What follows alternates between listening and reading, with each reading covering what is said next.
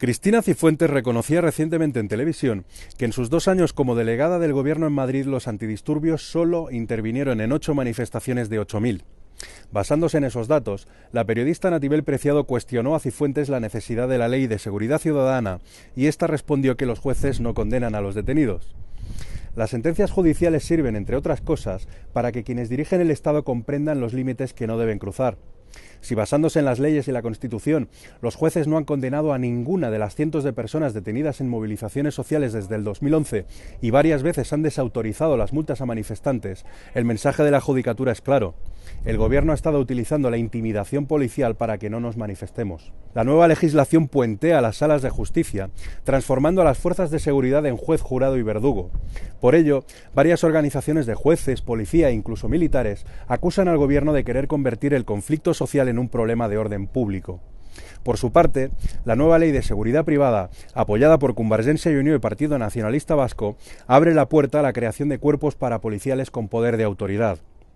Los pretextos del Partido Popular no se sostienen cuando el índice de criminalidad en España es de los más bajos de la Unión Europea y en 2012 se redujo el número de delitos y faltas.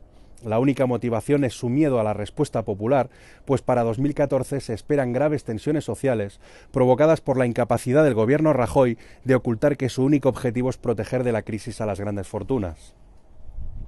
Pero la ley Mordaza no solo supone la criminalización de toda disidencia y la ruina económica de quienes sufran multas por ejercer su legítimo derecho a protestar, también suaviza sustancialmente las penas por delitos fiscales y de corrupción institucional pretenden sencillamente legalizar su derecho a corromperse y a coaccionar a cualquiera que se atreva a denunciarlo. Es por ello que hoy es necesario reivindicar y ejercer nuestro derecho a la rebelión y a la desobediencia ante leyes injustas que violan los derechos del pueblo. Pero para ser efectiva, la desobediencia civil no puede ser un acto individual y aislado de protesta. Requiere de la participación masiva de la población, de organización, valor y conciencia. Exige recuperar la esencia de la verdadera política y las ideas y la creación de redes de resistencia y de solidaridad popular. El gobierno Rajoy nos obliga a elegir someternos o desobedecer la historia de este barrio barcelonés del Carmelo, construido por la necesidad de la clase trabajadora en rebeldía contra la tiranía franquista, revela que la voluntad del pueblo desborda invariablemente cualquier ley opuesta a sus intereses. En nuestras manos está detenerlos, porque sí se puede. Colectivo Audiovisual Republicano para la República.es.